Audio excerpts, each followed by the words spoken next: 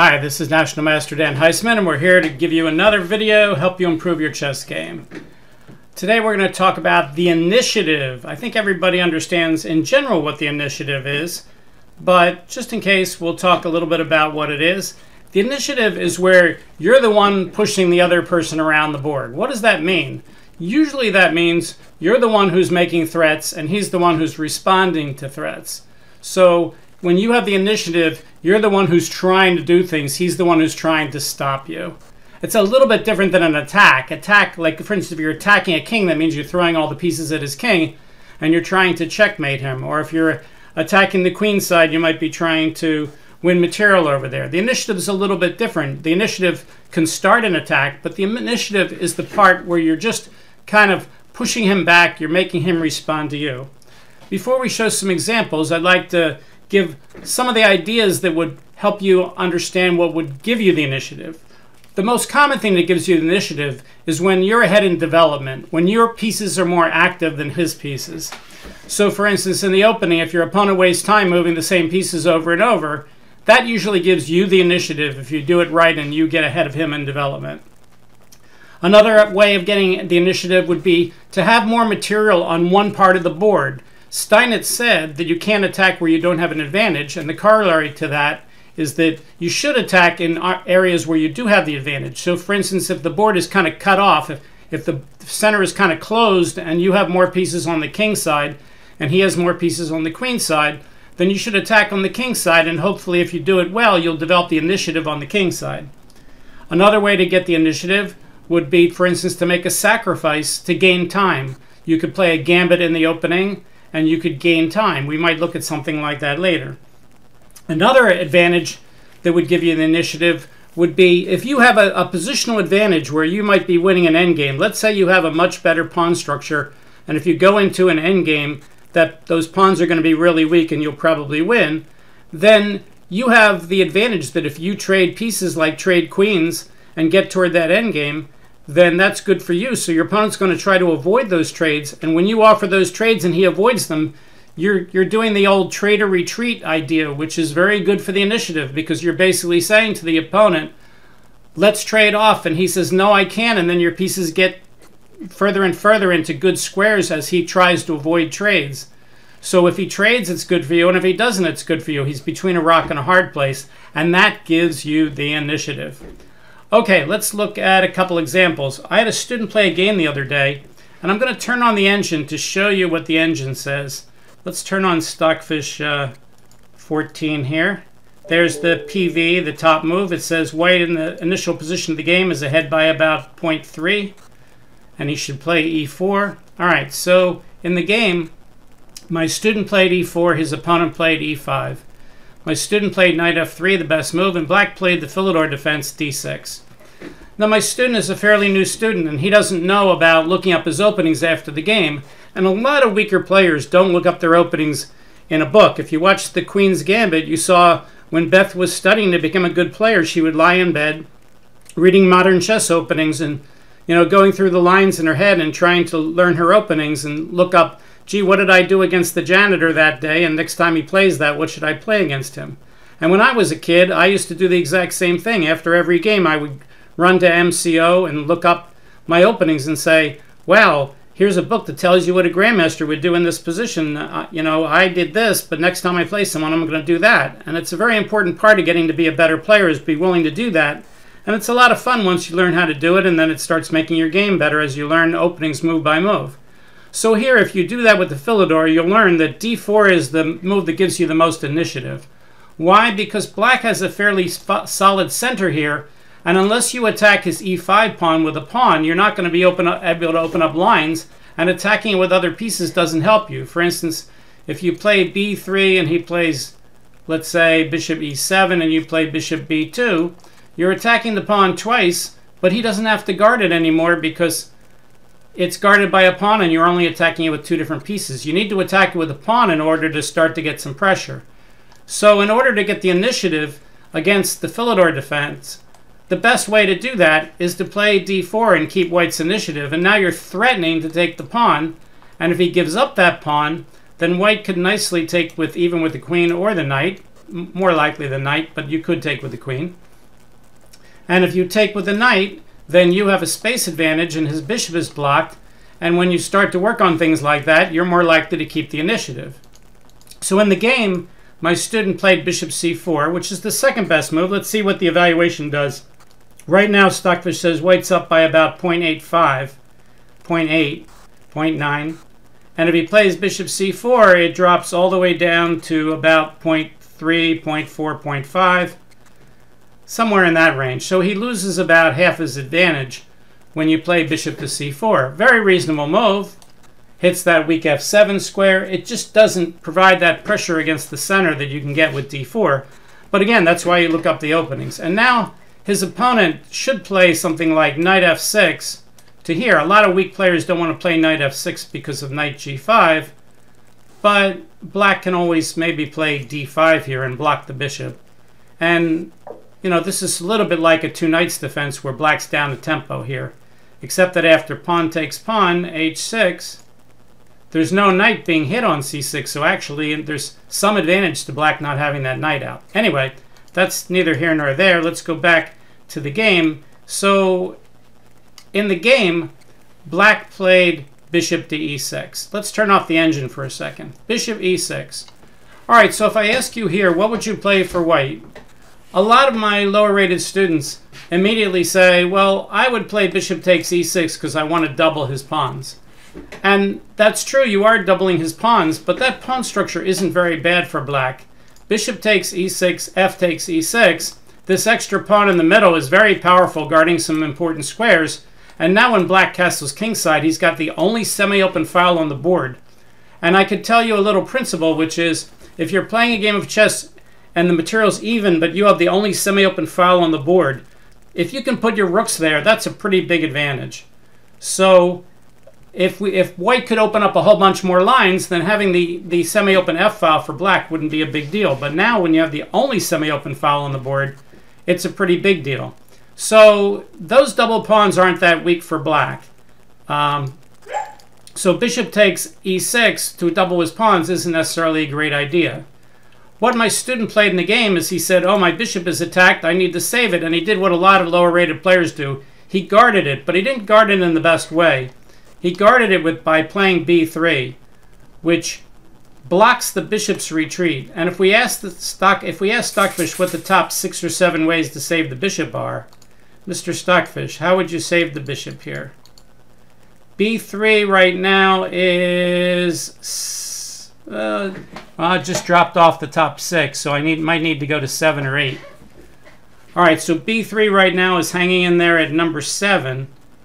And now it's up to number six. So it's not one of the better ways to save the bishop. But now you might notice the best move is bishop takes e6. And you go, aha, Dan, bishop e6. You told me that bishop e6 wasn't that good. The double pawns weren't that good. Well, this video is about the initiative, and that's what bishop takes e6 is about. It's true that bishop takes e6 doubles the pawns, and those double pawns aren't that weak. But there's a really, really good reason for playing bishop takes e6 here. And it has nothing, I shouldn't say it has nothing, it has less, less to do with the doubling of those pawns. The reason that bishop takes e6 is a good move is if you play a move like b3 and just save the bishop, that move doesn't do that much. It, it, it might help you fianchetto the bishop, but as we already saw, fianchettoing the bishop against the e-pawn doesn't work very well unless you play d4 anyway. So the time you get to play b3 to develop the bishop isn't all that helpful. But now black can do anything he wants. And you're not threatening him. You have no initiative.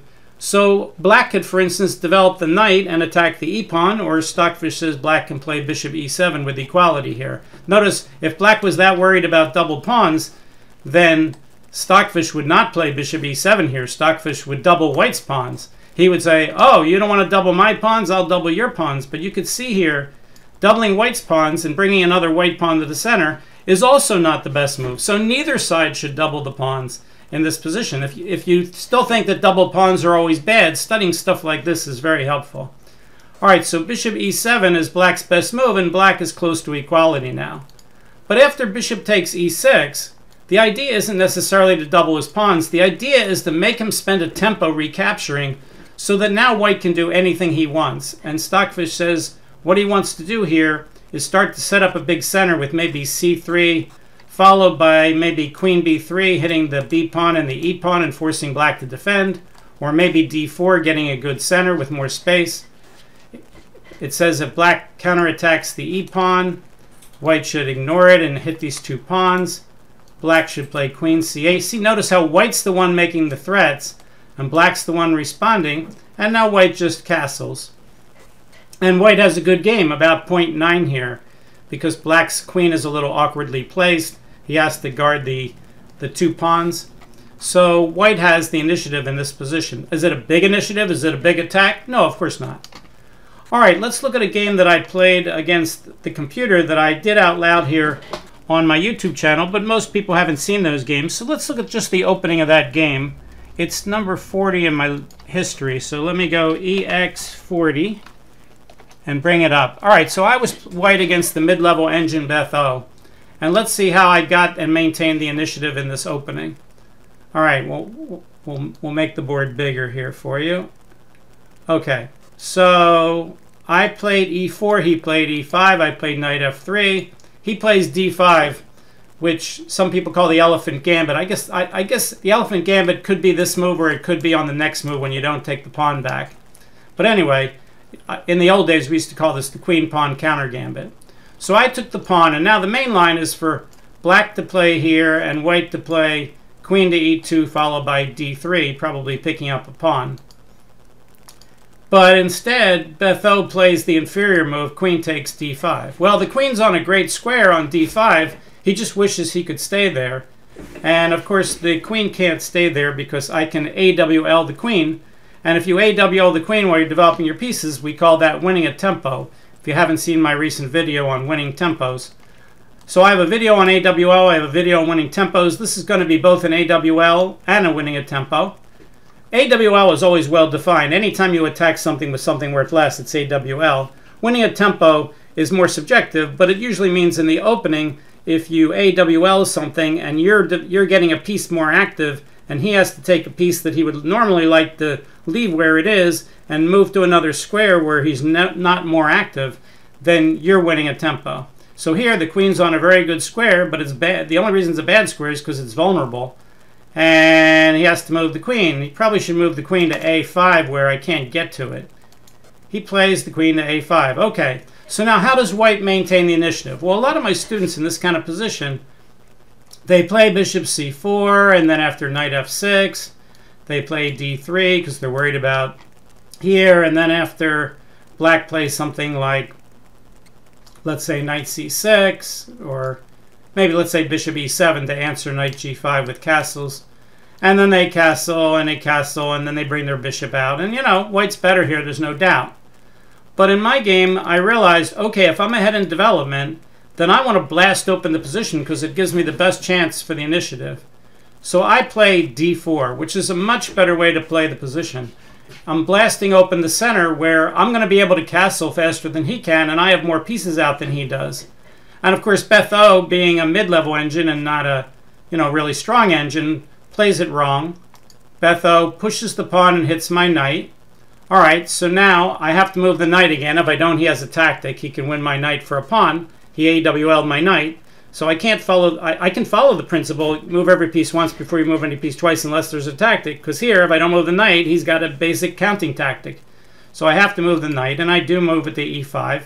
And now I have a double idea. I could play bishop c4 and attack that weak f7 square. Or I can play knight c4 and start chasing his queen around the board, depending on what he does.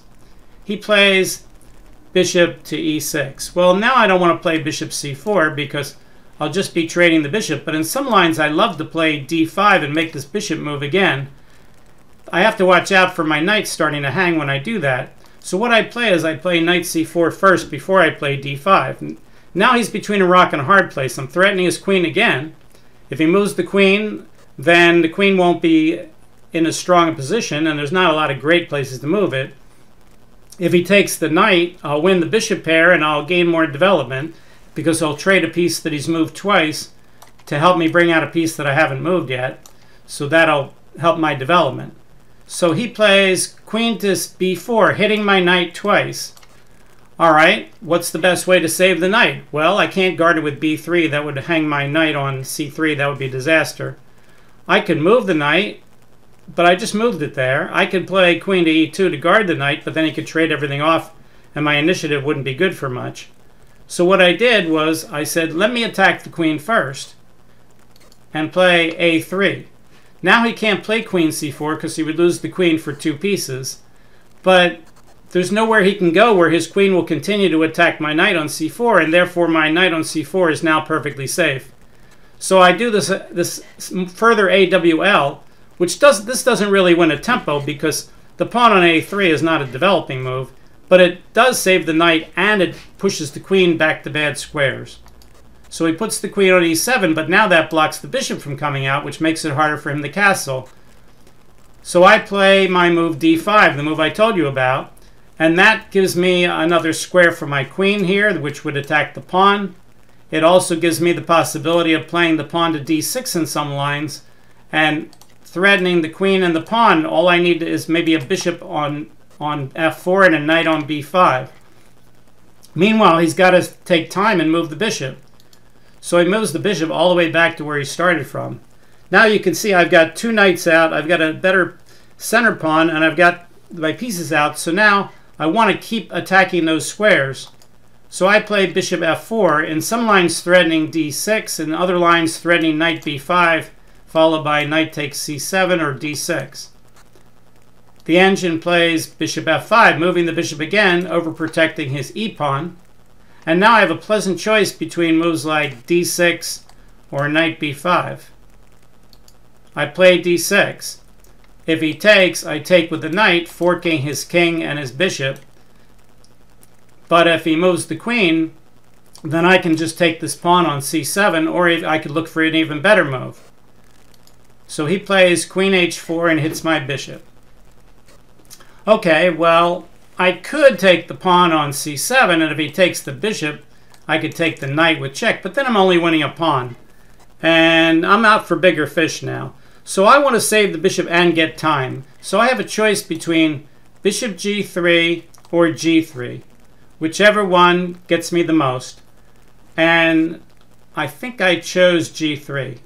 All right, that makes the pawns weak around the king side if I ever castle there, but I don't think it's going to get that far. Right now, he doesn't have a lot of places to put his queen that are safe. So let's see what he does. He plays queen f6. All right, but now I can bring my knight up and attack this pawn again and his queen. So I have a tremendous initiative. In fact, my initiative is so great now that I have a winning attack. So I do play knight to d5. Notice he can't take my b pawn. My knight on c4 is guarding it. His queen is running out of squares. He plays queen to g6. Okay, well now I'm looking at maybe trapping the queen with moves like knight to e5 already. Or I could play knight check first and then play knight to e5. I'm just winning anyway. Knight takes check, king d8, and now this rook's not going anywhere. I could take the rook and win the game easily, no problem. You know, when you see a good move, look for a better one. If you don't see a better one, absolutely take the rook. I play 95. I'm doing all these AWL moves to keep a tremendous initiative. And now where does he put the queen? Well, if he puts it on h5, I take it with the queen. If he puts it on g4, I take it with the knight. If he puts it on h6, I take it with the bishop. He plays queen f6. All right, white to play. This is a interesting position. Pause the video. Tell me what you would play. All right, so what I played is Bishop to g5, pinning the queen to the king. If you looked at that move and you said, I can't do that because my bishop would be hanging, then that's a quiescence error. We'd love to play bishop to g5, but if it's hanging, what good is it? Well, the answer is it's it's a pin followed by a, an attraction move. I'm attracting the queen to the g5 square, and when he goes there, I get a fork and I win the queen. So I'm giving up the bishop, and then I get a pawn and a queen for it. So he moves the king over, I take the queen, and of course Betho doesn't resign, so I won the game easily. All right, let's look at one further example of initiative. We'll look at what um, Alekhine did in a game. All right, let's go to, um, this is from Alekhine's Best Games book. And I'm going to turn on the engine on the bottom here so we can see the engine telling you what's happening with the evaluation in this game. We're not going to look at the whole game. We're going to look at the most, well, we'll look at most of the game. It's a game played in the Moscow Championship in 1919. Alekhine was white against a player named Issakoff. All right, so Alekhine played e4, e5, d4. Center game, Mr. Stockfish, what do you think? Stockfish says, take that pawn.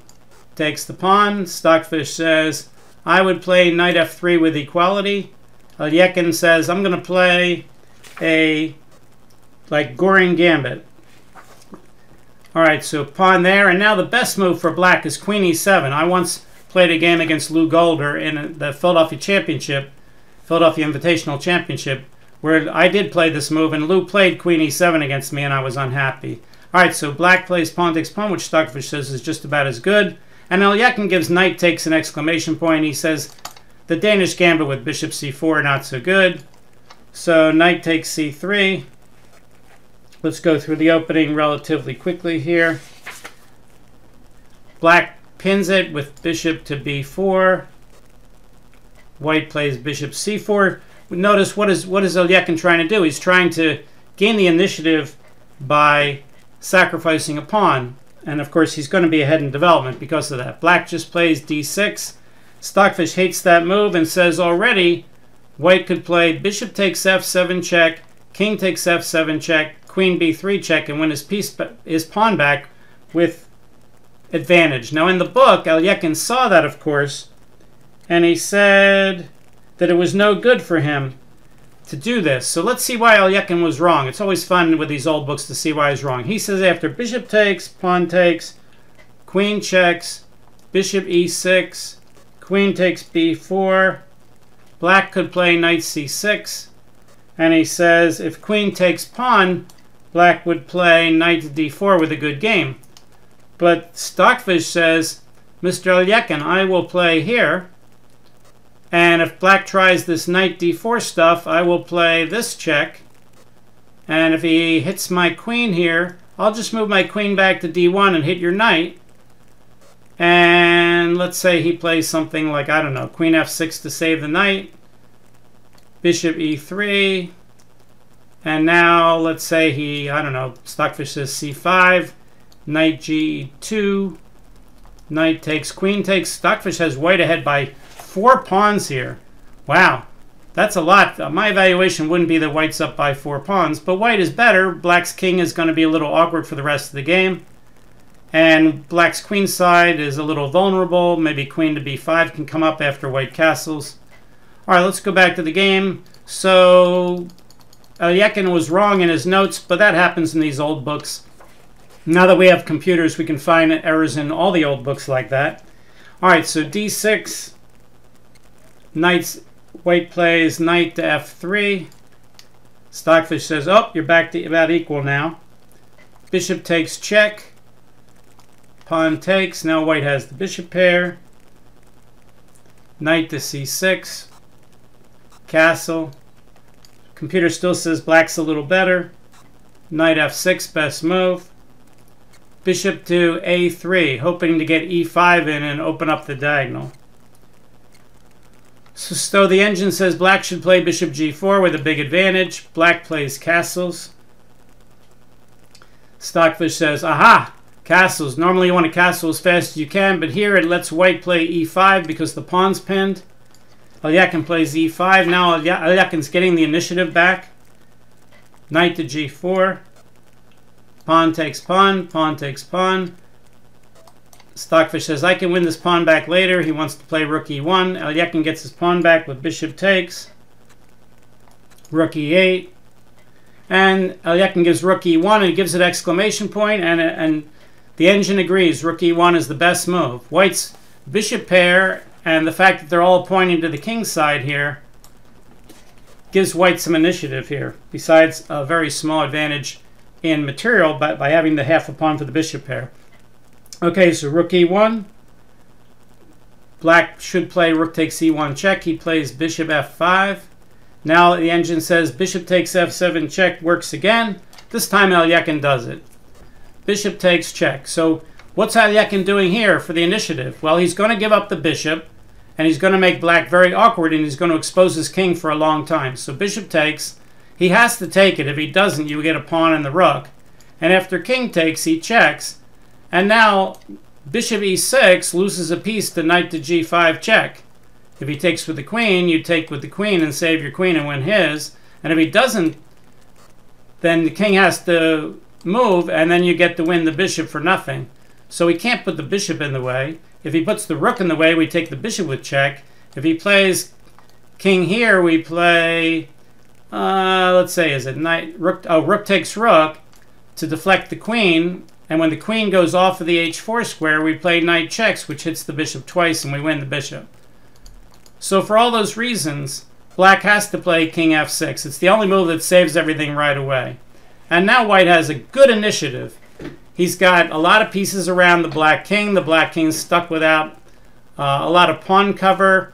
And white's just going to have a lot of threats in the next few moves. Let's see what his next move was. He plays h3. Engine says best move. White's up by 1, 1.9. Now the engine says black should sack the piece back with here. Black understandably doesn't want to do that. He plays bishop e6, attacking the, the queen. Here, the engine says you could sack the exchange here. Rook takes e6, rook takes e6, queen g5 check, king f7, queen f5 check. The bishop's hanging, so you have to be careful. Queen f6, knight g5 check, and white's up by five pawns. So again, you know, Alekhine misses this, but the engines are perfect with these kind of attacks.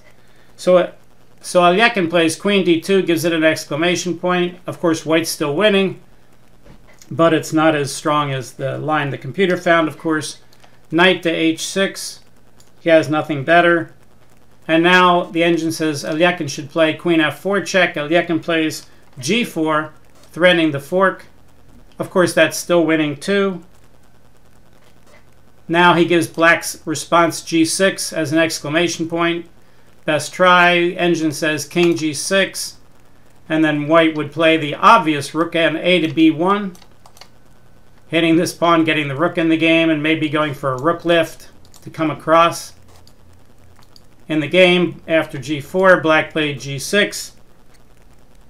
White play... Now, the engine here says knight g5 is the best move. Alekhine says also strong would be queen takes knight. He doesn't consider knight, knight to g5. He plays g5 check to get his piece back. Of course, that wins easily. Why not? King f7. We could play the rest of the moves and call it a day. Let's see here. How much more did the game go? Only about 10 moves.